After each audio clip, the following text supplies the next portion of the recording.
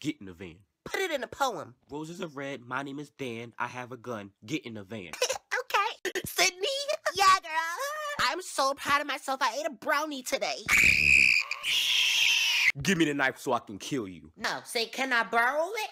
Can I borrow it? You go. Why did you crash my car? Because I wanted to see how a Mercedes bends. Go. You gotta get out my house.